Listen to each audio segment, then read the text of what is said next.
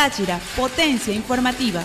Son personas de muy bajos recursos que la mayoría de ellos tienen tratamientos médicos de por vida y, es muy difícil para ellos costeárselo. Ellos acuden a, la mezanina 1 del edificio de la gobernación o a través de, nuestro gobernador o a través de la, de la unidad de correspondencia, la oficina social de nuestro gobierno bolivariano del Táchira y nosotros con nuestra preocupación de, dar la mayor suma de felicidad posible a, estos, a estas personas, a estos tachirenses necesitados. Hoy le hicimos entrega alrededor de 76 personas de, de medicamentos.